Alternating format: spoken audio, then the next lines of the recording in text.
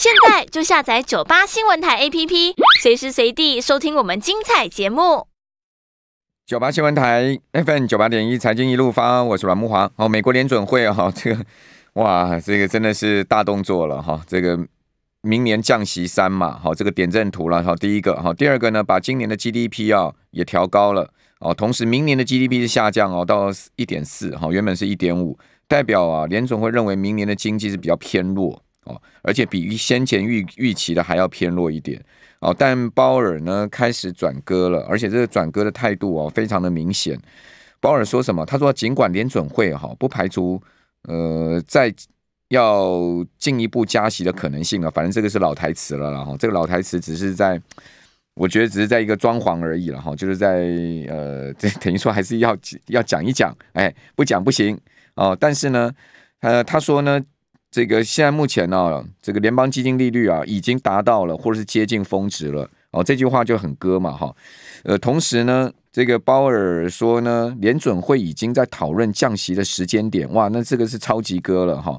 这个另外他又讲说，供给侧哈已经恢复到疫情前的水准哦，就代表 supply chain 这个部分哈已经恢复到正常了。而且呢，他讲软着陆成为可能哦，暗示啊。这个是很明显的暗示哦，说明年即使是经济增长哦，也要降息。哇，为什么突然哦，在这次的一席会议哦，这个全面转割啊？我们赶快来请教红利投信投资策略部的邓胜明副总，邓副总你好。主持人好，各位听众大家晚安。这个先前鲍尔都是一副非常阴，怎么会在这一次就这么大的一个一百八十度的转变？才两周的时间，两周前他还非常阴哎，因为。这个他要公布那个 PCE 嘛，就是这个个人消费支出这个物价指数，下礼拜才要公布。那他等于先把预估值秀出来，二零二四年二点四。那这个数字其实就是虽不中亦不远矣啦，就是接近它的一个核心的所谓的要回到两个 percent 的区间。那你看，就是本周稍早公布那个 CPI，你核心的部分四点零，然后明目的部分三点一，其实。这个数字其实看起来也是受控的，就是说从二零二二年高峰那时候超过八嘛，那现在降下来降甚多。还有一点就是生产者物价，他就刚刚讲那个 supply chain，生产者物价其实掉的速度，那看起来比消费者物价还要再快一点。消费者物价可能还粘着一点点，那生产者物价降的更是快，也就是呼应一下连呃刚才主持人讲到是说明年经济的一个状况啊，你看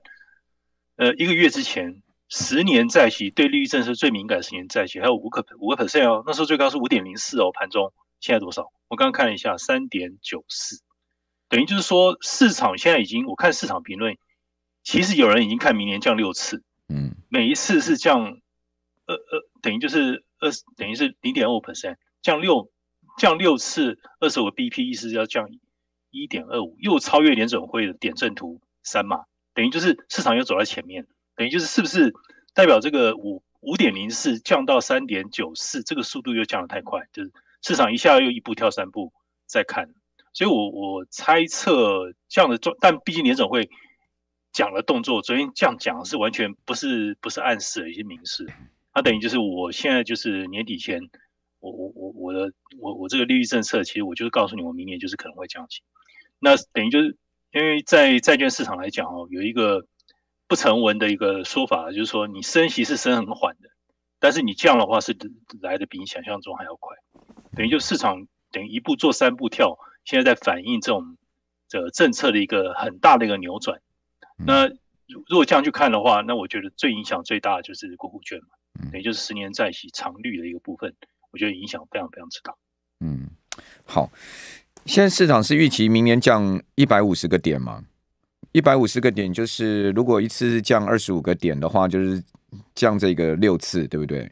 那六次的话，一年开市开会八次，等于说第一呃一月份不降之外，是不是三月不降之外，其他每一次议席会议都要降啊？就五月开始每一次这都都要降啊？我我觉得这个这个当然在预估啦，就市场的预估有时候又比那种会点阵图又又乐观太多了。稍微稍微太乐观了一些。你你你个人觉得呢？您您觉得呢？我我是觉得先用联总会的角度看这个事吧，就是有可能到时候有可能会介于对，有可能会介于联总会预估和市场预估的中间值，非常有可能四码或五码。对，这种这种几率是有可能的啦。还有一点就是，现在几乎大家去看，你去看那个利率期货，现在完全是反映几乎是逼近满载的一个状态了。等于下一次，下次是明年的呃一季底三月份嘛？那次原本大家不看那一次，不看好那次会升会降息，现在看起来看起来那次降息几率也有。那五月份降息几率更高。那如果是第三季呢？简直是百分之百降息。照市照市场这个六码的话，五月铁降的啊，因为五五月就是呃六次会议刚刚好啊，一次降一码嘛，一次对呀，有可能一次降两码。如果他要一次哇，一次降两码，那那就是经济出问题了，经济出问题才一次降两码了。是，那但你可以看他点阵图，他去估哈，就是经济增长今年一点。今年一点四，明年也不过才一点八，并没有，并没有，这还是低于自然增长率两个 percent 以下，嗯，还是有差别。换句话说，经济增长的火苗没有很强劲，这部分他看的挺保守的，应该这样去讲。你话中有话，没有说出来的部分是这个，大家看那个数字显现的一个状态，所以有可能货币政策明年不会像今年这么极端气候啊，就是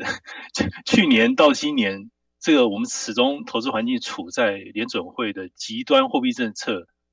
的一个环境影响影响之下，那明年的货币政策会看起来是好像感觉是比较可预期的一个一个环境啊，所以或许明年来讲的话，呃，今年这种双元化的配置反映出来投资端，一个是股，要不然你就赌股票，另外一点去放 money market fun 因为 money market fund 你的现金就有百分之五以上的一个回报。你胆子小，不愿意承担风险，可以放现金，money market，要不然就去赌股、成长股。那明年的话，或许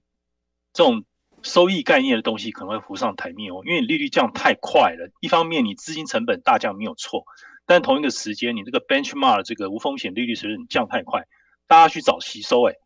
找吸收的话，treasury 是掉的非常非常快，一下就不见了。那可能你要找信用债，你要找公司债，或者是你要找股息。你变成是大家要被逼着去找各式各类的一个吸收，要去填补这个市场这么大的吸吸收需求的一个空间。我觉得这是一个颇大的 issue 哎，这个就在发生在最近这几天。对，因为它这个转变有点怪的地方是哈，联准会预估明年的核心 PCE 哦，从九月的预估二点六降到二点四嘛，对不对？它降零点二个百分点嘛。是。好，但问题是。即使是二点四，也达不到目标区的两趴。然后二零二五年的核心 PCE 也是在二点二，二零二六年才会降到两趴。那在二零二六年才会达到目标区的情况之下，那就是降息。那他不怕这个通膨死灰复燃吗？这个其实有一点自打嘴巴哎。我觉得联总会这一次啊，尤其是鲍威尔态度的改变哦，非常的诡异哎。我我觉得当然了。他他送歌放歌，这个是事实啊，因为他话都已经说出来了嘛，所以也已经造成市场资金的一个一个挪移。就就有人说，包括要很很政治啊。明年因为要选举，明年对呀，明年明年是就这样讲啊，对啊。看起来他川普看起来卷土重来的几率是有的，对，等于就是他这个与其明年说更政治，今年先做，明年的话反而保守一点。因为他已经 set tone 了，他已经把这个论调先定好，明年是选举年，反而少说话，多做事，相对来讲要维持一点中立的一个立场，是这样子的。那看起来美国经济如果当年就选举当年度或是前一年经济状况比较不理想的时候，现任总统其实是压力连任压力是颇大的。那当年度如果经济重衰的话，压力更大。对，那通常来讲的话，经济不好或者说股市重挫的时候，一个是股市嘛，一个就是经济状况。那经济状况直接反映在人民的那个痛苦指数上面，这会直接影响那个民主党的一个选票。那我猜测这个部分可能有某种程度揣测了某种程度的一个连接在里面。对，因为华尔街就有一个猜测，跟您刚说的是一样，就是说把后年的降息提早到明年了。你你你这种降息幅度已经不能算是预预防性的一个降息，预防衰退的降息，因为你这样等于它是对了，有点把前后一年的那个降息挪到前年来嘛。你要是年年去看，其实没有增。对不对？我们这边先休息一下，听众朋友，你知道吗？同一天，老拜被这个共和党哈正式啊在国会啊提出弹劾案了哈，这个是一个另外一个重点哦。我们这边休息一下，等下回到节目现场。九八新闻台 FM 九八点一财经一路发，我是阮木华。好，这一次 FOMC 会议最重要的哈，其实就是两件事情了，一个鲍威尔这个会后的谈话，另外一个呢就是点阵图。那这个点阵图啊，呃，二零二三年年底，就是今年年底的非方瑞呢是五点四，好，这个是点阵图的中位数的一个呃利率的预测了哈。这个较九月的五点六呢下调了二十个基点，那二零二四年呢是四点六。哦，较九月的五点一下调了五十个基点，二零二五年是三点六，哦，较九月的三点九呢也下调了三十个基点。那二零二六年呢，呃，跟之后的非方瑞呢维持啊九月的预测分别是二点九跟二点五，好，这个是呃点阵图哦，点阵图给出的一个利率方向，就明年要降息三嘛，好，七十五个基点，但市场都已经认定说明年联准会要降息一百五十个基点，好，double 哦，这个要降六嘛。哦，那六嘛，因为一年八次会议，等于说一月跟三月不降之外呢，从五月开始一路降到年底。哦，就我们刚谈论的。那刚邓副总是讲说这个市场过度乐观了哈，但是你有没有发现呢哈？其实从呃最近这几个月了哈，华尔街就是一直压着联准会打哦，打到现在呢，哎，看起来华尔街是真的赢了，华尔街是真的占上风了。呃，这个利率决议出来之后啊，哇，市场哗然，因为这个。鲍尔整个就是我变我变我变变变，哇，这个变得实在太快了，连这个联准会传声筒啊，那个那那个 Nick 呃 Timers 这个记者，华尔街日报的记者讲说，他都他都觉得他都觉得不可置信的，怎么两个礼拜变得这么大的一个情况，好像说他都不认识鲍威尔，鲍不认识鲍尔这个人呢。鲍尔在两个礼拜前还讲说，一定要呃不排除再升息啦，当然不不不一大堆鹰派的这个谈话。结果呢，在这个最新的这个会后记者会呢，一副温驯的鸽子都不能再鸽的一个情况。那这中间的一个大转折到底是什么？那你说这个通膨有降的很低吗？没有啊，核心 CPI 还在四趴，对不对？CPI 虽然降到三点一，但核心还在四趴，PC 还在这个三点五，核心 PC 还在三点五，这个离目标区的两趴还有一大路啊，一大段路啊。哦，所以这个就我刚跟 邓总在讨论，那就。我是觉得 这个鲍威尔很政治啊，哦，因为同一天呢，美国众议院共和党通过了表决，对拜登提出正式弹劾调查。调查什么呢？他要调查拜登啊，他是不是利用总统职权呢？哦，从他儿子跟其他家族成员的国外商业交易中获得不方的利益、不法的利益。哇，这个是一个重大的美国政坛的变数哦。哦，所以这两件事情夹杂在一起，不免令人联想了哈。我们继续来请教红利投信投资策略部的邓正明邓副总，邓副总，这个不管我们刚刚讲的这些了，那既然联总会路径已经定了嘛，定的是这样的一个方向了嘛，那现在投资的策略我们该怎么拟定呢？我觉得短期来讲的话，因为现在你其实你可以看到反应的速度非常快，十年债息现在已经在四以下，那四以以下的话，其实我觉得已经把所有的技术支撑跌破了。那但是四以下这种四点一四以下这种跌法，我觉得跌势过快，跌势过快。那有有可能就是，我觉得接下来的话，它有可有可能在这个地方，我觉得可能会跌升啊，跌升会弹啊，因为利率部分我觉得会反弹。你可以看相对反应的就是，呃，股市开 party 嘛，然后还有就是债券的长债的部分也开趴。那短债其实利率没有像长债跌的那么重。但相对来讲，其实你可以看那那时候两个中之间的那个利差，现在缩到大概三十个 bips。那之前一度拉开那个时候已经有到五十个 bips 以上。现在，但是这不代表经济不会衰退啊。现在是等于是两边都跌，看谁跌的速度快。利率敏感度高的长债利率跌的速度更快。那这个速度跌跌过快，然后可能短期会反弹，只是说可能呃先反映这个。等于政策的这个货币政策，鲍尔提的这个